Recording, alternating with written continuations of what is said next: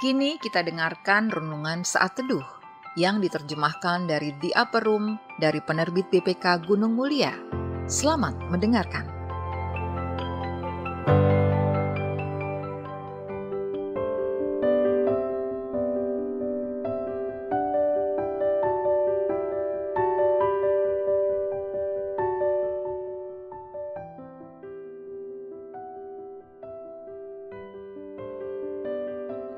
Sahabat RPK, saya Bang Jaya akan membacakan saat teduh Sabtu 6 Januari 2024. Renungan ini ditulis oleh Mark A. Carter dari Oregon, Amerika Serikat. Dengan judul Satu Hari pada Suatu Waktu.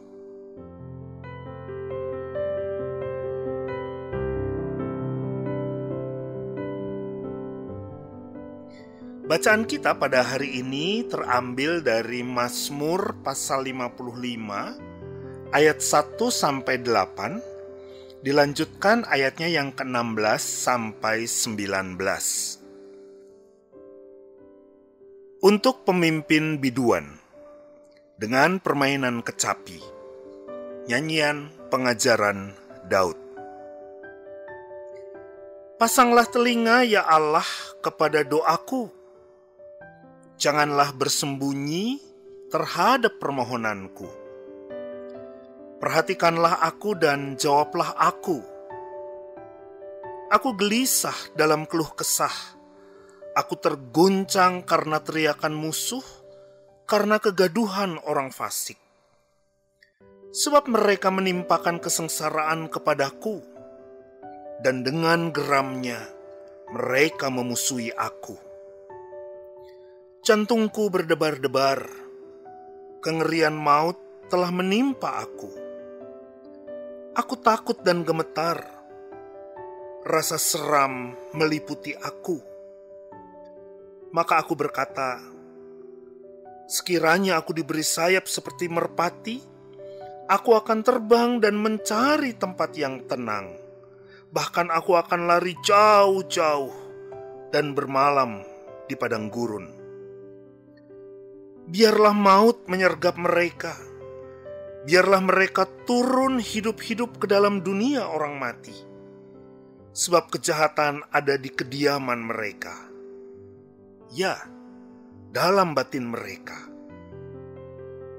Tetapi aku hendak berseru kepada Allah dan Tuhan akan menyelamatkan aku. Di waktu petang, pagi, dan tengah hari, Aku mengeluh dan mengaduh, dan ia mendengar suaraku. Ia membebaskan aku dengan aman dari serangan terhadap aku, sebab berduyun-duyun mereka melawan aku.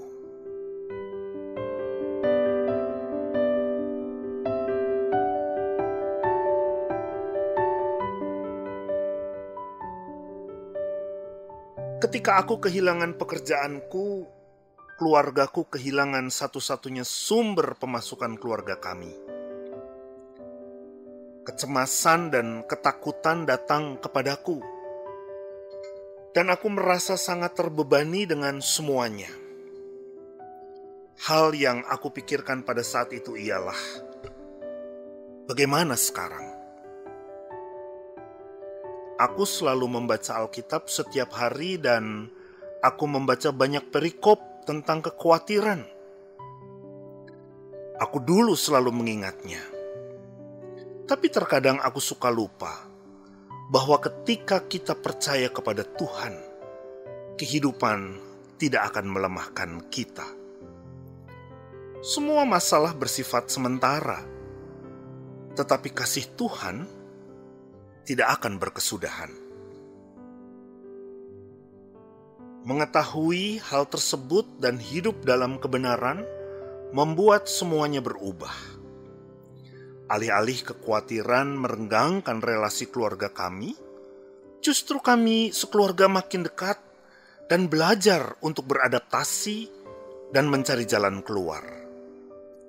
Sudut pandang yang lebih baik dan menenangkan dapat mempermudah kita untuk bertahan di tengah penderitaan, memperbanyak relasi, dan menata kembali kehidupan kita. Akhirnya, aku mendapat pekerjaan yang lain, dan keadaanku pun membaik. Sementara itu, aku yakin tidak akan mengalami hal buruk itu lagi. Aku mendapat pembelajaran berharga yang mungkin tidak bisa aku dapatkan di mana pun mengkhawatirkan hal-hal yang akan terjadi di masa depan hanya akan menyakiti kita. Tapi percayalah bahwa Tuhan pasti akan memulihkan kita. Satu langkah di suatu waktu.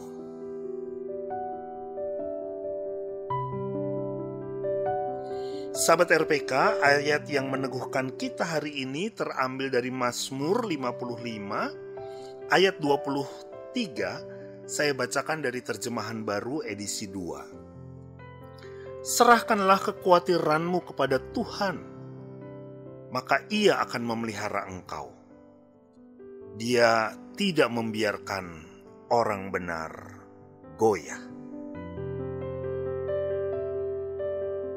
Pokok pikiran yang dapat kita renungkan bersama yaitu mungkin kehidupan mencoba untuk melemahkanku, tetapi kasih Tuhan akan menopangku. Doa syafaat kita hari ini adalah untuk mereka yang kehilangan pekerjaan. Sahabat RPK, kita telah mendengarkan saat teduh untuk hari ini. Mari kita bersatu dalam doa.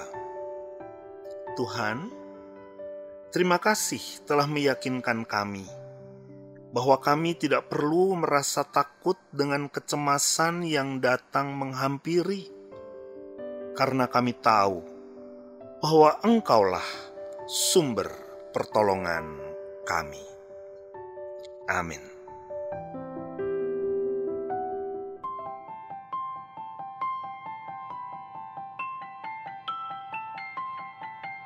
Demikian tadi renungan saat teduh yang diterbitkan BPK Gunung Mulia dan dicetak oleh PT Aditya Andre Bina Agung Jakarta Pusat.